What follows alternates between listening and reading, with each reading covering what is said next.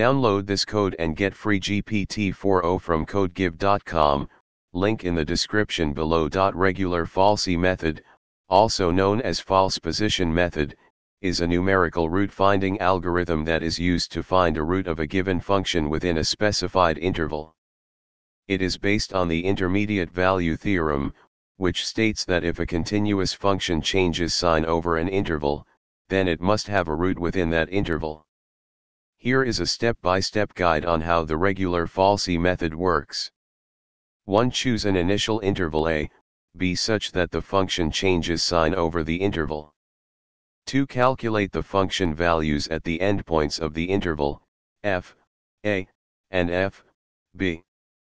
3. Compute the next approximation, c, using the formula c equals, af, a, slash, f, b, f, a. 4. Calculate the function value at c, f, c. 5. Update the interval a, b based on the sign of f, c.